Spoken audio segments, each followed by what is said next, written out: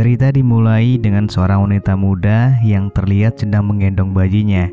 Dia adalah Linet, wanita yang telah lama ditinggal oleh suaminya dan sekarang dia berusaha akan mendatangi suaminya ke sebuah daerah karena tempat tinggalnya yang sekarang telah hancur oleh badai. Linet sudah tidak mempunyai apa-apa lagi. Bersama bayinya, dia pun melakukan perjalanan. Namun sayangnya dia tidak memiliki uang sama sekali. Dia harus berjalan dan meminta bantuan orang-orang. Namun tidak semua bisa dimintai bantuan.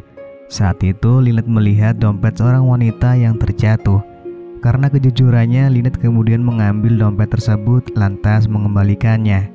Karena hal tersebut, Linet mendapatkan bantuan oleh wanita itu. Dia diajak ke sebuah terminal dan diberikan beberapa uang untuk ongkos naik bus. Namun hal itu lantas tidak membuat perjalanan Linet mulus begitu saja. Hal yang tidak mengenakan pun akan segera dimulai.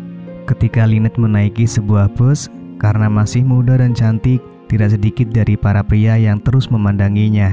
Apalagi di saat dia sedang memberikan ASI kepada bayinya, seorang pria di sampingnya melihat salah satu gunung kembar miliknya. Beruntungnya masih ada seorang pria yang menolongnya. Pria yang melihat hal tersebut kemudian segera mengusir dari tempat duduknya. Satu masalah selesai, namun masalah lain datang.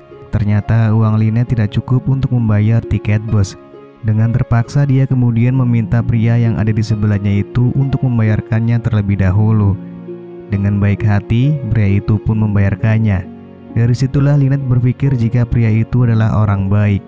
Mereka pun kemudian saling berkenalan dan diketahui jika pria itu bernama Rod. Dan di sana Linet bercerita kalau rumahnya telah hancur akibat diterpa badai dan kini dia berencana menyusul suaminya ke wilayah Segovia. Dalam perjalanan bus tersebut, Rod yang makin penasaran dengan Linet kemudian memintanya untuk bercerita tentang hidupnya.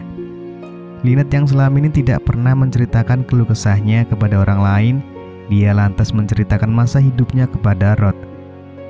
Dulunya saat usia lima tahun, Linet sudah menjadi anak yatim setelah sang ayah meninggal karena insiden kecelakaan. Setelah kejadian itu, sang ibu pun mengalami tekanan batin hingga akhirnya memutuskan untuk mengakhiri hidupnya. Akhirnya Linet dan saudara laki-lakinya yang bernama Toto harus tinggal bersama bibi mereka. Namun karena keterbatasan ekonomi, Toto pun dijual bibinya secara diam-diam dan berbohong kepada Linet jika kakaknya telah hilang. Sementara Linet sendiri akan dijadikan pembantu di rumahnya sendiri. Sejak saat itulah Linet dan Toto tidak pernah bertemu lagi. Setelah kehilangan kedua orang tua serta kakaknya, penderitaan Linet bertambah di saat dirinya mulai tumbuh beranjak dewasa. Dia mendapatkan perlakuan buruk dari pamannya sendiri karena sang paman yang selalu meminta jatah serabi kepadanya. Linet yang melaporkan kejadian tersebut kepada bibinya justru dimarahi karena dianggap telah berbohong. Merasa kalau Linet sudah cukup umur, sang bibi pun menyuruh Linet untuk bekerja di luar kota agar bisa membantu perekonomian mereka. Lalu pada suatu hari bibinya menelpon Linet.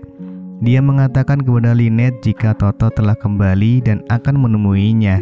Sang bibi juga telah memberikan alamat Linet kepada Toto. Dan beberapa hari kemudian Toto datang menemui Linet. Akhirnya mereka berdua dapat bertemu setelah sekian lama berpisah. Karena kerinduannya kepada Linet, Toto kemudian mengajak adiknya itu untuk tinggal bersamanya. Rupanya Toto telah memiliki seorang istri yang bekerja menjadi TKW di Jepang. Toto dan istrinya yang jarang bertemu, saat itu mereka sering memanfaatkan kebersamaan mereka ketika istrinya sedang cuti kerja. Kebersamaan mereka pun terdengar oleh Linet yang berada tepat di sebelah kamarnya. Linet pun menyadari apa yang sedang kakaknya lakukan bersama dengan istrinya dan hal itu ternyata membuat Linet merasa iri akan hal itu. Ketika istri Toto kembali bekerja di Jepang, saat itulah kesempatan datang bagi Linet. Linet meminta kakaknya untuk menanam singkong di lahan basah miliknya. Kakak ipar tidak di rumah, Linet seakan menjadi pengganti istri Toto. Dan kegiatan itu pun sering mereka lakukan, meski sebenarnya mereka menyadari jika yang mereka lakukan itu adalah suatu kesalahan. Sampai akhirnya benih yang Toto tanam selama ini membuahkan hasil dan Toto lah ayah dari anak yang Linet kandung saat ini. Takut hal itu akan diketahui oleh orang-orang, Toto terpaksa harus mengasingkan Linet untuk tinggal di sebuah tempat terpencil dan melahirkan di sana. Di sinilah kehidupan Linet begitu menyedihkan. Dia harus menjalani kehidupan sendiri, bahkan di saat dia melahirkan pun tidak ada orang yang mendampinginya.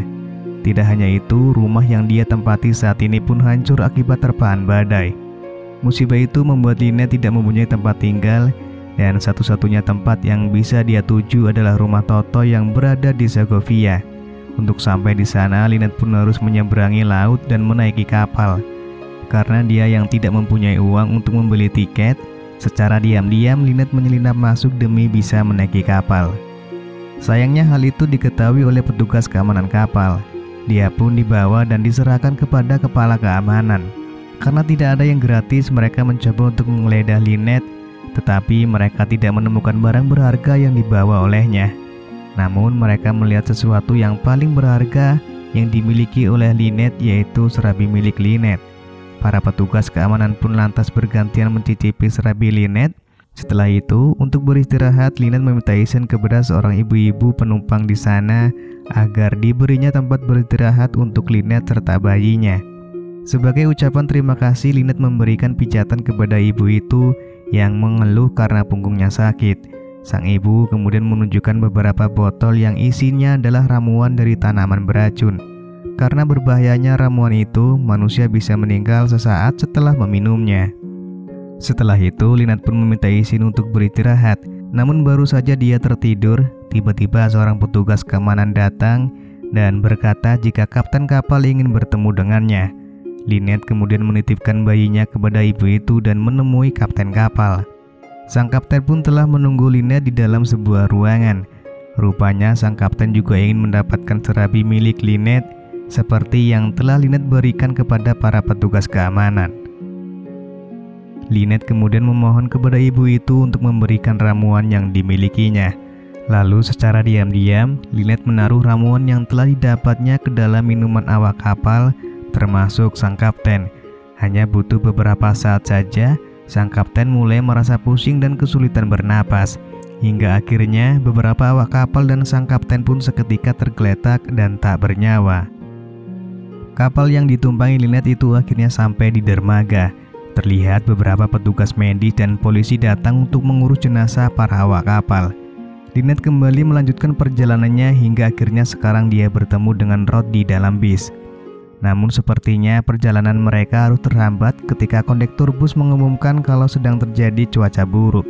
Karena hal tersebut, perusahaan bus bersedia menanggung semua penginapan untuk penumpang sampai besok pagi.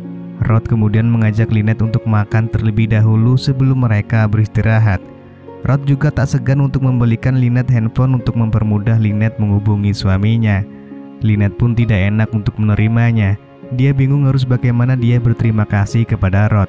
Sama halnya dengan para awak kapal, Rod berkata jika Linet ingin berterima kasih, maka dia harus menemaninya malam ini. Ternyata Rod mempunyai niatan buruk di balik sikap baiknya. Dengan sangat terpaksa, Linet pun harus menemani Rod malam itu. Di pagi harinya ketika Linet terbangun, ternyata Rod sudah tidak ada di sampingnya. Dengan menaiki bus yang kemarin, Linet kembali melanjutkan sisa perjalanan bersama penumpang yang lain. Dengan menaiki kendaraan lain, rupanya Rod sudah terlebih dahulu pulang ke rumahnya. Terlihat dia sedang makan bersama istri dan juga kedua anaknya.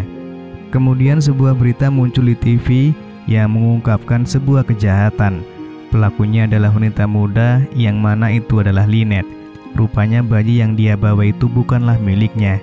Dia mengambil bayi milik orang lain karena bayinya sendiri telah meninggal saat dia melahirkan. Rupanya Linet telah mengalami gangguan jiwa. Kematian awak kapal juga telah diungkap dan Linet menjadi pelakunya. Tanpa diduga, dia justru membawa nama Rod dan mengakui kalau mereka merupakan satu kelompok kejahatan. Dia juga menuduh kalau Rod adalah dalang di balik kejahatan yang dia lakukan. Polisi kemudian mendatangi rumah Rod untuk menangkapnya. Rod yang mencoba untuk kabur saat itu langsung dieksekusi oleh polisi dan film pun selesai.